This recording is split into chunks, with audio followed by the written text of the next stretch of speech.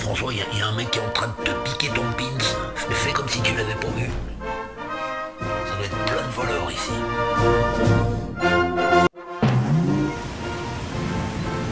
Dis donc François, tu peux pas dire au chauffeur de s'arrêter au PMU là-bas? Ah parce que j'ai un tiercé à faire. Mais vite fait. Hein.